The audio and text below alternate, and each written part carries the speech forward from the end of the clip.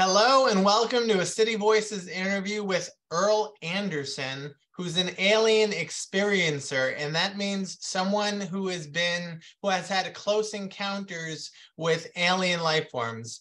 Uh, welcome, Earl. Hi there. How are you doing? I'm pretty good. How are you? I'm doing good. doing good.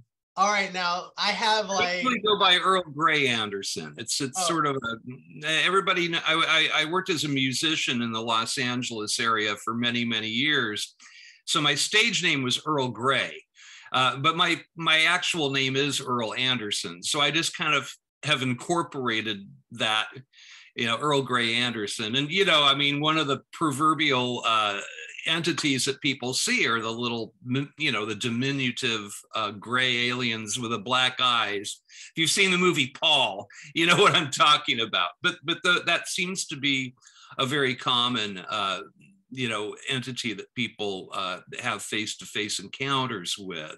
Okay, so now, Earl, before works. we go off on tangents, I'd like to. Is it possible that we can stick to the survey that I got from MUFON? And sure. like there, there's a lot of these questions are really quick, like you know, just mm-hmm. we can go through them quickly. But then there's some where I would prompt you for like further elaboration. Uh, are you game for that? Yeah, sure. All right. What age were you when you had your first experience? Um, I have to do quick math in my head. Uh, I was around uh, 50, around 55 years old, 50, 54 years old. And I, how was, many times do you believe you've been taken? Uh, I've only had one encounter where, and I wasn't taken, I was visited. I mean, they came literally came through the wall. Okay. Which is unusual, believe it or not. Have other family members experienced abductions uh, or ET contact experiences? Uh, my mother had an experience when she was 16 years old uh, in Muscatine, Iowa, but it was it was it was a visitation, and this was by uh, the entity took the form of uh, a basketball-shaped ball of sparks, which came into their screened-in patio, hovered over her sister, went over and hovered right in front of my mother's face, like eye to eye contact, if it had had eyes. I mean, it was a ball of sparks. Uh, this thing went and pushed its way back through the screened in porch. She ran out after it into the middle of a cornfield, looked up at it, and she said that it popped like a soap bubble. And, and that's the smell cool. was in the air. Uh, that's the only other encounter I know of in my family. But my mom uh, later on went to work for Hughes Aircraft, and she knew some national secrets, and one of them was that we aren't alone. That uh, the the idea of aliens visiting Earth is actually a reality. Very good. Has your ET contact experience changed your religious beliefs? Um, it changed the way that I that I practice them. I, I mean, I, I, grew up as a Christian, but I kind of threw out, I kind of kept the baby and threw out all the bathwater. Yeah. Okay. It did change the person. Did you believe in the existence of extraterrestrials prior to your event? I always believed that there was life in the universe, but I didn't know that if the UFO phenomena was was real or not. And and I became a I became a field investigator for MUFON. Uh, I had closed a few sighting reports and cases, but then I had a face to face contact myself. And I, I, think that probably the fact that I had become a field investigator for MUFON, the Mutual UFO Network, uh, probably targeted me in a way. Here's a, a somewhat complex question from the MUFON survey. Do you have conscious, continuous recall of the observation of non-human or alien em- entities? And in parentheses, it's not with hypnosis, dreams, or flashbacks. Yeah, I, I remember I have conscious re- recollection of what happened. My wife was involved, and for her, uh, she doesn't remember anything except for our room flooding with light that had no source. But for me, I did remember it. Okay. Have you had one or more experiences where you awakened unable to move your body or cry out? Uh, only the one.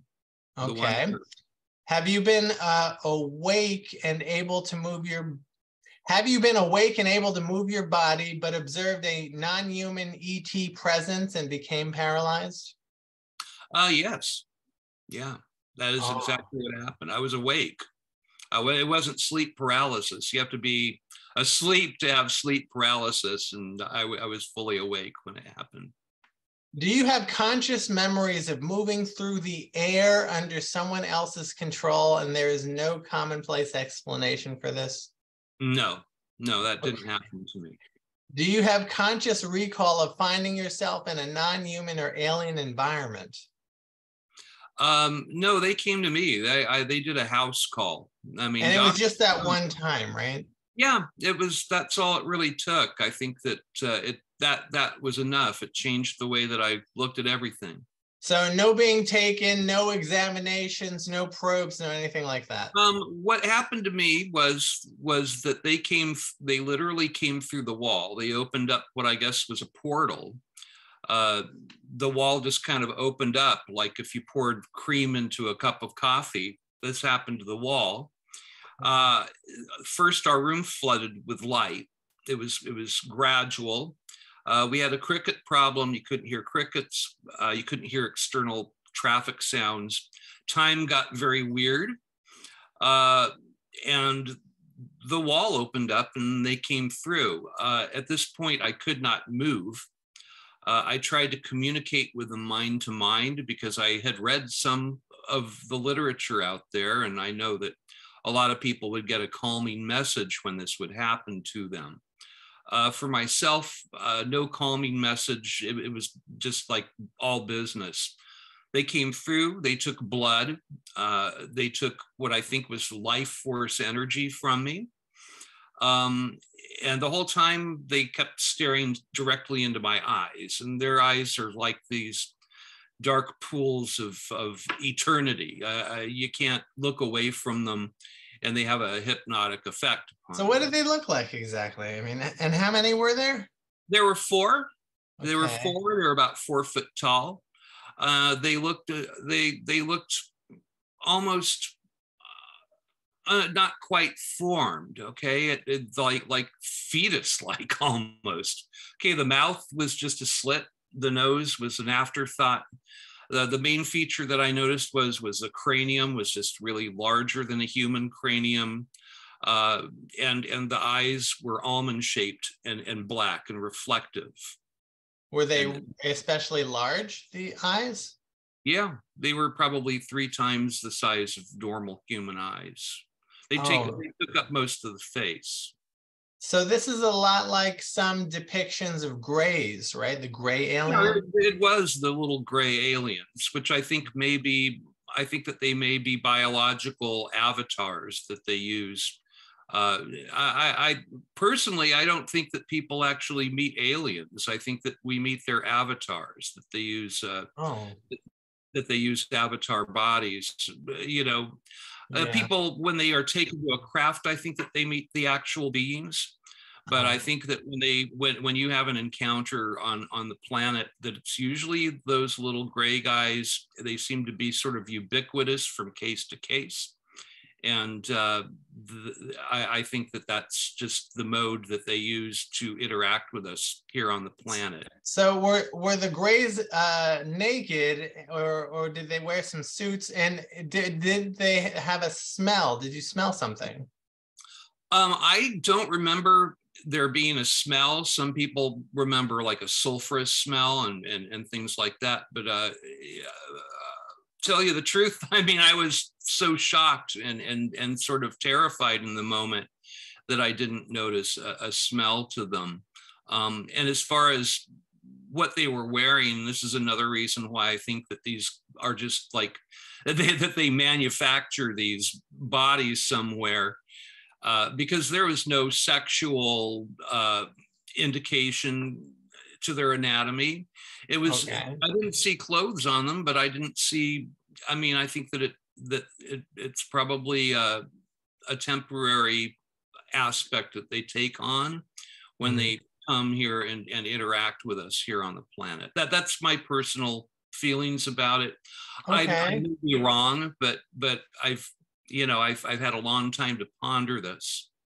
And um, did you uh, predict this happening, like have a premonition, or it just happened? Um, it happened. Uh, it, I can tell you that a little background if you'd like. Sure. I mean, I, I had become a, a, UFO investigator with MUFON because my, you know, my mom told me when I was a little kid, and she was a serious person. She'd worked in aerospace. She actually worked for Howard Hughes Hughes Aircraft at the Sepulveda site here.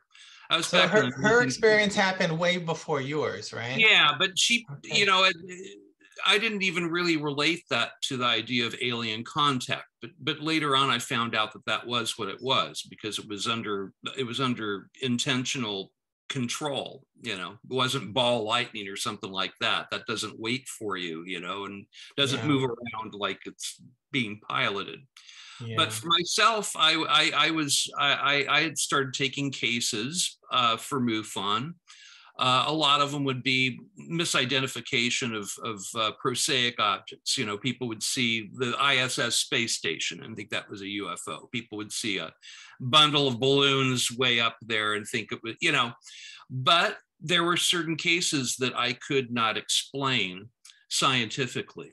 So there was something to this.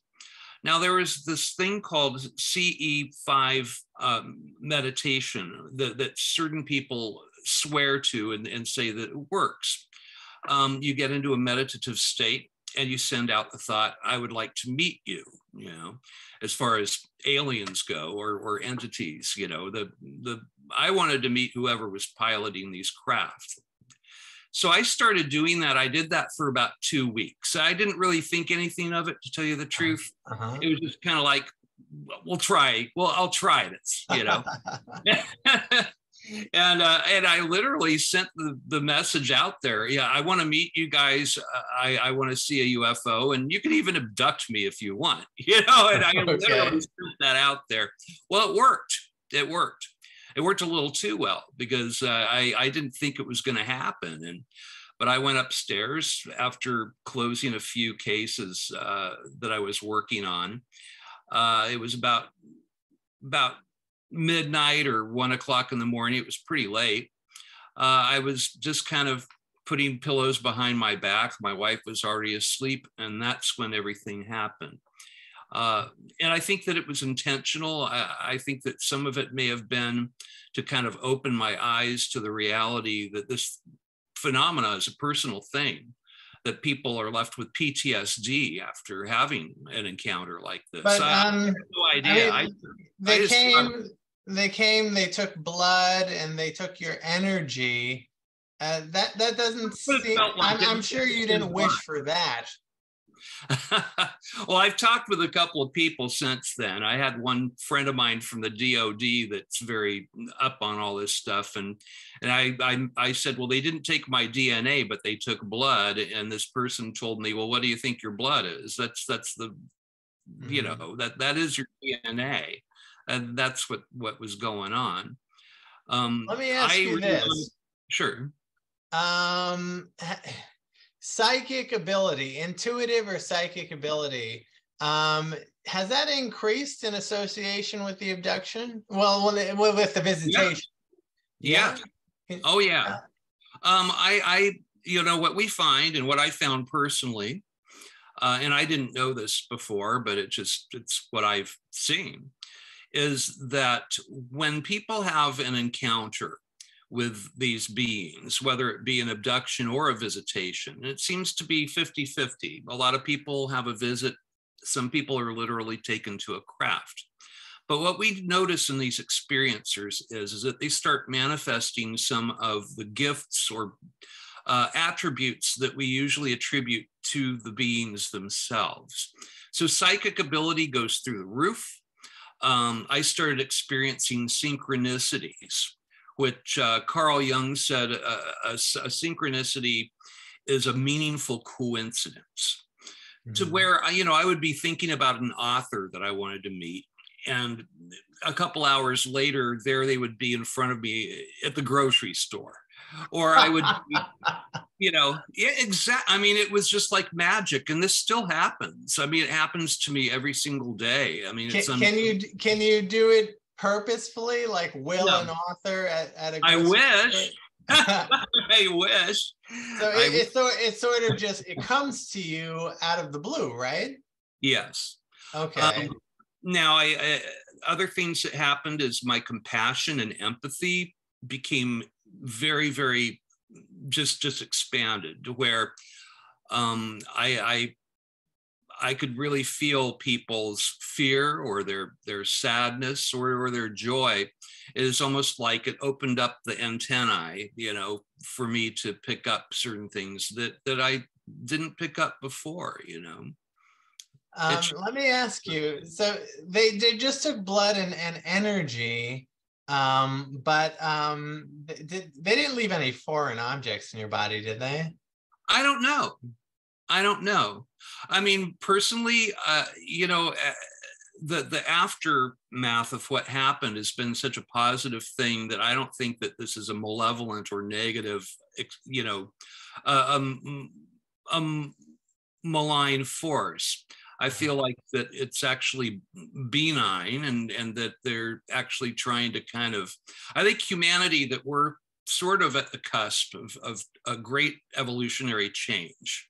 Uh, Ray Kurzweil, he wrote a book called this, the, the Singularity. He says within the next 10 years that we're going to become uh, beyond human that uh, we're going his his feeling is is that that we're going to become one with our computers. And then that you know i mean they're already talking about putting medical chips in people and that you could get readings on your iphone and stuff. And i i think that it's just around the corner i think that this intelligence is known about us that they've known about us for a long long long time uh, and and i think that at certain points in human history, we've we've gotten to where we could destroy ourselves, or we could either become monsters or angels.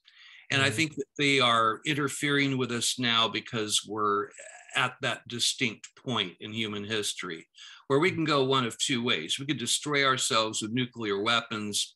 Uh, we could divide ourselves from each other, or we can become like the human race is supposed to be and be be a positive force. But what you know we're we're ready to enter the space age for real now. I mean that is is is happening with with elon, elon musk talking about going to mars and all this stuff. Uh, before i think that we were contained on earth but now we're about to expand out and i think that if we go out now uh, that we're just going to take our human problems with us. And, and I don't think that I don't think that the aliens want Star Wars. I think they want Star Trek. But right now, the way humanity is, we're, we're going to go out there and try and divide and conquer like we do on Earth. Mm-hmm. And that's why I think that it's become uh, why things have ramped up and people are having these face to face encounters now. Uh, let's go back to um, talking about a little bit, a little bit more about the psychic ability. Like and now, um, has is is your mother who also experienced an encounter uh, psychic or intuitive? No, she passed away back in 1999. Uh. She wound up becoming a C. Uh, she became a headhunter for aerospace uh, CEOs, and uh, I mean, for instance, she single-handedly populated the Rockwell Science Center in Newbury Park, from the broom pushers all the way to the astrophysicists and rocket scientists. That was my mom. Uh-huh. Uh, and I, you know, this was because of her earlier work with Hughes. Um, with, with officialdom, once they get somebody initiated into this stuff and they get this knowledge and you sign NDAs, you know, non disclosure agreements, uh, my mom had above top secret clearance so um you know through but but my mom uh, she knew about ets she actually told me when i was a child uh, that that it was a real thing that it wasn't abstract and that the government already knew that we weren't alone but that they would never tell the public. Uh, my mom told me that uh, they would never tell the public because they were afraid of how uh, humans would react. They were afraid of a bad reaction. She, she mentioned uh, Orson Welles' uh, War of the Worlds radio broadcast and how people were jumping out of windows and draining bank accounts and, and kind of, you know, it, it became pandemonium because people thought aliens were here. And, and, and this was back in 1963 when my mom told me this. I, I was just a young kid. I was five. Let me ask you this. Now, um, when the, I'm assuming that your home, uh, the the home uh, which was the uh, the home where the visitation happened, is in like a rural kind of no. country. No, no, no. not at all. Do you know the? Do you, do you, are you familiar with Burbank, California? Do you know where the Chandler Bike Path is? Because we lived right along there. I'm on the East Coast, but tell me more. Oh, okay. Well, my wife, uh, my wife works at a major uh, studio out here, and uh, and so we were living in Burbank because it was easier for her to get to work there. Um, and this happened. It was it was in it was not a rural area. It was a urban area. Uh, this is why I believe that it was. I mean, we didn't. They came through the wall, and I believe that it was dimensional. I I, I don't think that they you know they didn't fly a flying saucer into our backyard. okay. So theoretically, they could visit anyone anywhere mm-hmm. with these portals, right? Yes. Yes. Hey, okay. All right. Um, see, uh, there's actually film footage of a portal. Uh, my friend Caroline Corey, she recently did a film called Tear in the Sky, where she had uh, physicists with all kinds of monitoring devices uh, in Seal Beach, in this area that's a hot spot between Catalina Island and Seal Beach. And they were purposely trying to catch this on film as well as on monitors, and they did. Uh, they were successful. And what they found were the gamma rays were coming out of this tear in the sky that they saw. It's on film, you can see it. Can you uh, send uh, me the link to that? Uh, monitor readings. Hmm? Can you send me the link to that? Sure, sure. That, it's, uh, that would be great. it's on Netflix and stuff. You know, you can stream it. Oh, I, you I mean you mean the fictionalized film? No, it's not a fictionalized oh, film. Oh, it's it's, it's, it's a, a, documentary. Oh, it's a documentary. Yeah. Oh, and and are there clips of it on YouTube? I would have to look. I would have to look. I'm not sure. I think it would be interesting.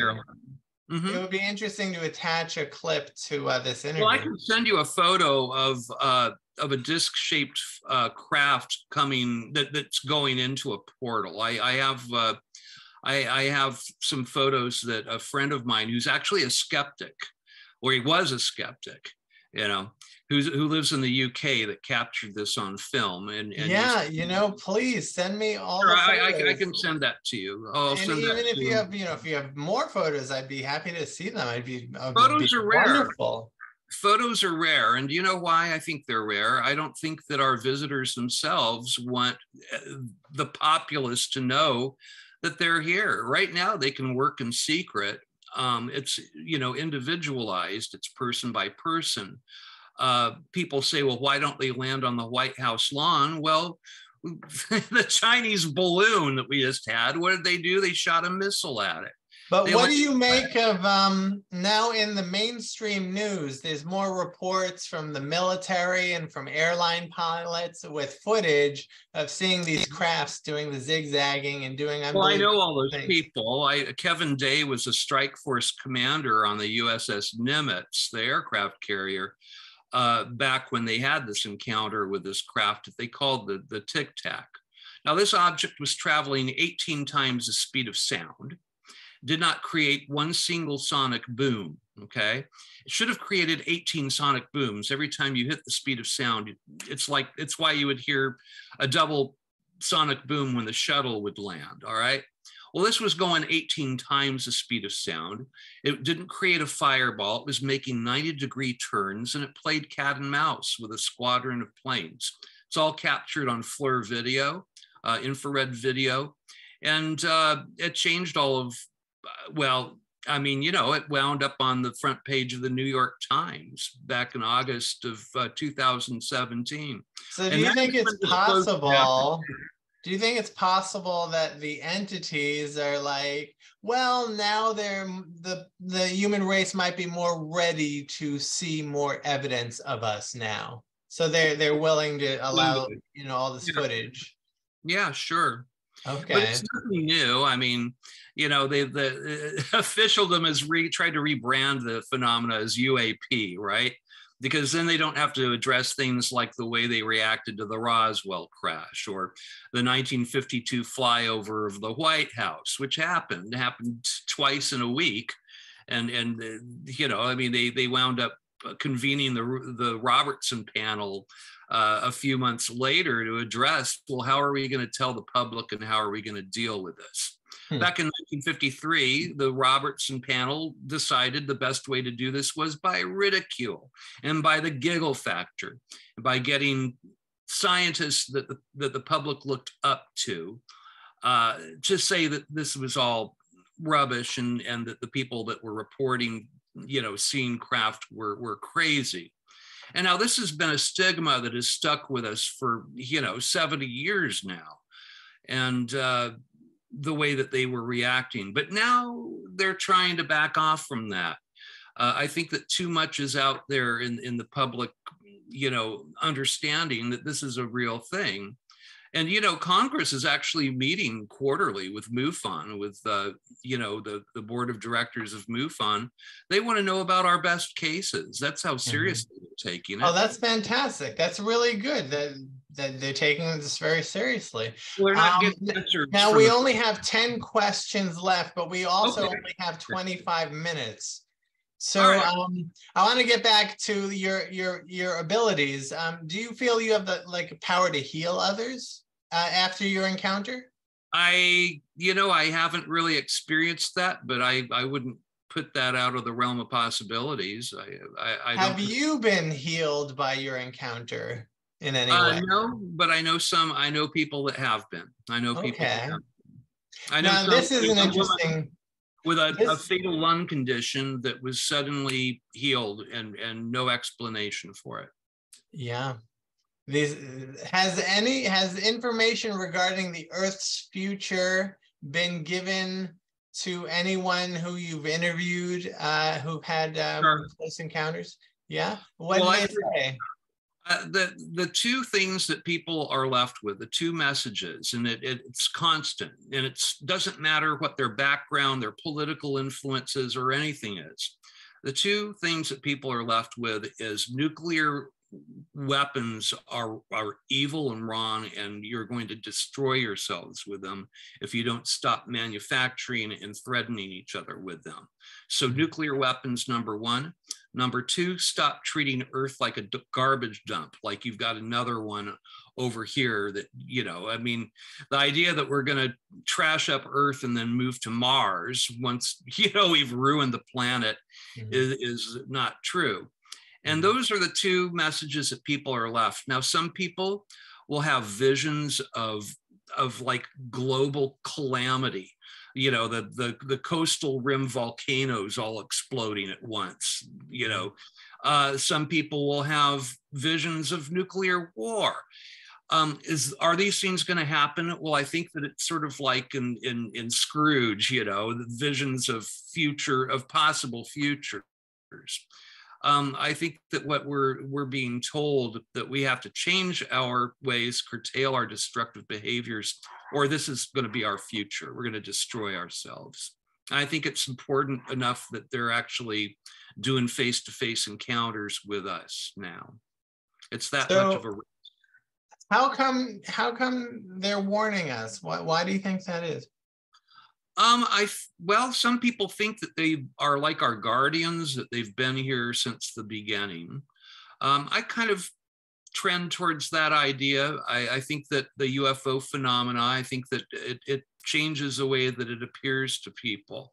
Back in the 50s, people saw more nuts and bolts craft. Now people see these bright plasma like discs and objects and orbs. You know, you hear that a lot.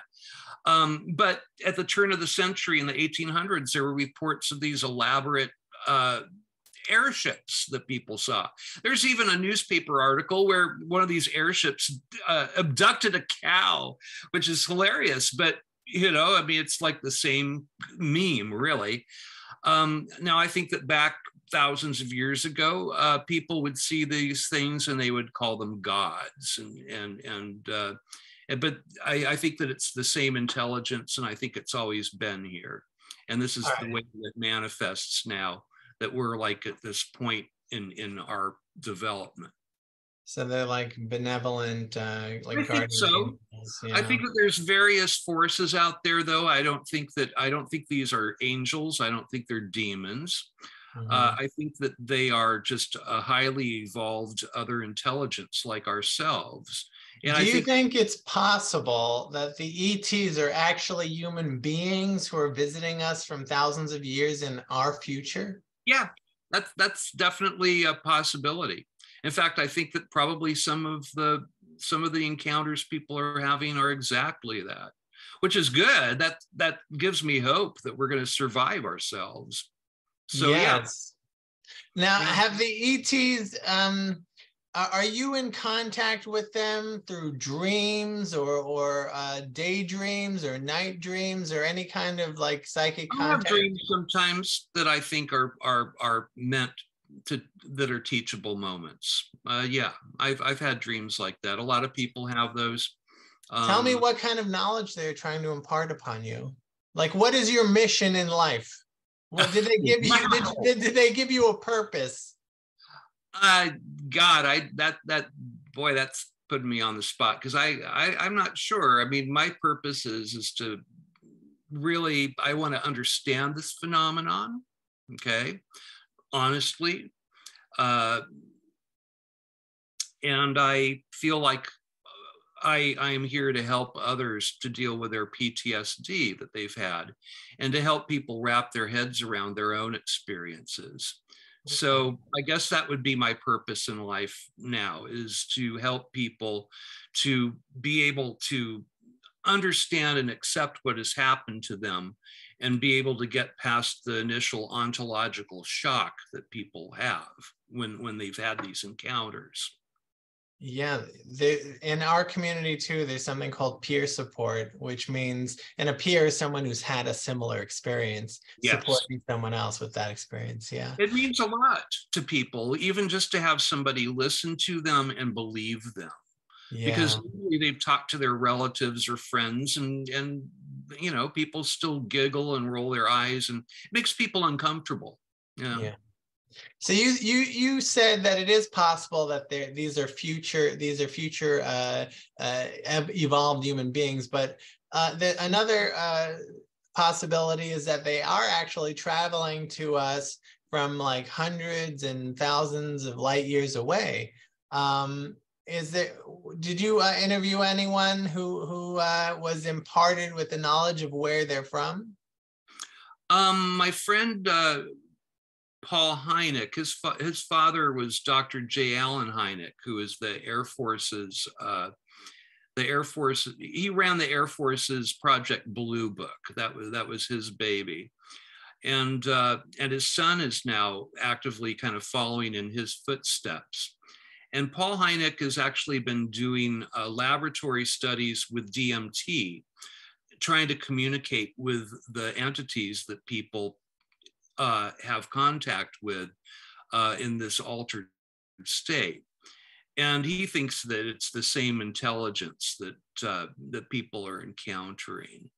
So, um, what was the initial question again? Well, the initial question is. Um uh, the theory that they're from they, they they're coming to visit us from deep right. deep deep in outer space uh, you know uh, most a lot of us but not all of us but i tend to more think that it's a dimensional phenomenon.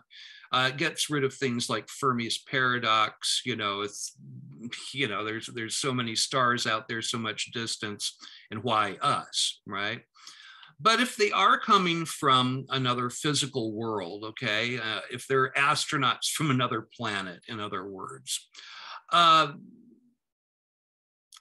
I think that this is a very old intelligence, that it's maybe possibly millions of years older than us, and that uh, there's certain ways that you could go and, and go through the very all the galaxies and find planets that had the potential for intelligent life. Uh, and one way that you would do that is uh, by, by creating von, what they call von Neumann machines, which are self-replicating probes. Um, so this is one idea is, is that millions of years ago even, perhaps, uh, this highly intelligent uh, group sent these out across the galaxy in search of life. And uh, technically, you could you could when you found a, a, planet where it was clement and that life would you know that intelligence will possibly uh, grow up there, then you can set up base, right? And and you can create uh, biological robots to come down and interact, and and and that that's that's one idea that actually works. I know Michio Kaku likes that idea, the, astrophysicist. Uh, I believe Avi Loeb, the famous uh, astrophysicist who saw the uh, the asteroid that came from out of our solar system that he felt was a craft, that he kind of thinks that the von Neumann machine uh, idea is, is, is probably the way that they're doing it. So if they're coming from other worlds and, and, and they're astronauts from other planets, that's one way that they could do it. But it would it would have to be something like that because you know there's as many stars as there are grains of sand on every beach of the ocean, you know. Is it possible if they were astronauts that they'd be uh, their craft would lift from their home world and then they would uh, travel through um, wormholes or something like in Star Trek? Well, that's yeah, that's that's the whole thing about uh, about portals. It's just another name for a wormhole or, or Einstein-Rosen bridge. It's the technical term for that uh, yes, that, that's that's my guess, and in fact, we've seen evidence for that. So, mm-hmm. All right. Well, Neil, I would I would like you to um to Earl. close this out. Are you thinking I'm Neil Armstrong? No, oh no, I mean Earl. I'm sorry, Earl. That's all right. Earl Grey. Earl Grey Anderson. There you go. Mr. Anderson. I know that's scary, isn't it? Yeah. so uh, why don't could you close us out with some words, some parting words that you feel I haven't like asked you or we haven't dealt with, but that's very important for our little audience to know to hear about this topic. Well, if any of you feel like you can relate to what I'm saying, and and this is meaningful to you if you've had a, a, a if you've had contact uh, with beings or if you've seen a UFO. Um, if you go to MUFON.com, it's M-U-F-O-N, MUFON.com, we're the oldest uh, investigatory uh, UFO group in the world. Uh, when, when the US Air Force closed doors in 1969 with Project Blue Book, that's when we opened ours. Uh, we've been in existence for over 50 years now, and somebody like myself, or maybe myself, will take your case, we'll take it seriously, we'll talk with you on the phone, and uh, we'll figure out, you know, we'll help you wrap your head around what happened. Uh, if you've had contact with beings, uh, you very well likely have a form of PTSD. A lot of people have trouble sleeping. Uh, they it, it changes a person's life we are used to that and we know how to deal with that we have doctors we have psychologists we have you know astrophysicists and all, all manner of, of, of experts in our group that will talk with you and will take you seriously so MUFON.com, that's where you want to go.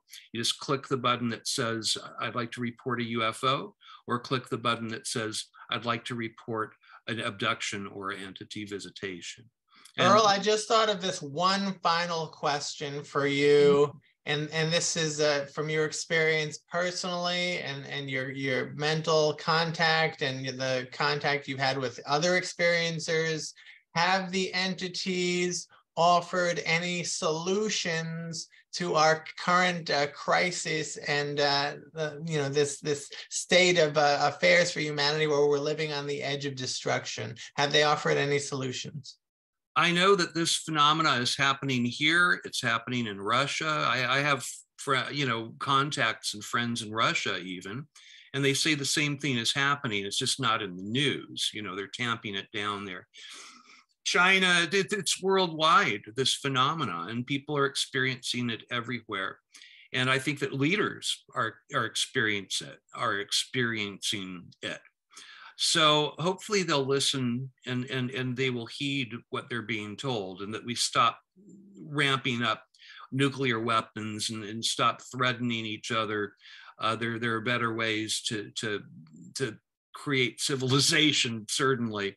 And, uh, you know, I mean, it's a lot. I mean, humanity is being expected to change. Some bad behavior that, that's followed us from since we were in the trees, really. Have the entities given us advice on how we could possibly change our animalistic lizard brains and minds sure. and greed and hatred and all this?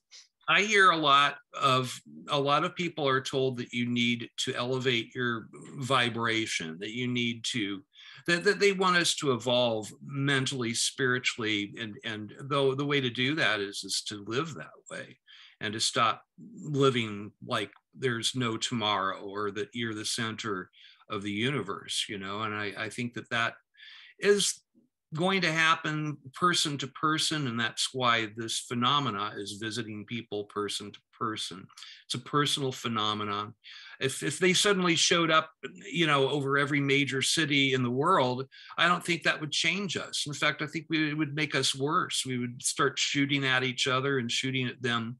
And this is why the weird bedroom scenarios where your room floods with light they come through the wall or they take you through the window or however it is that they meet you. It's one by one by one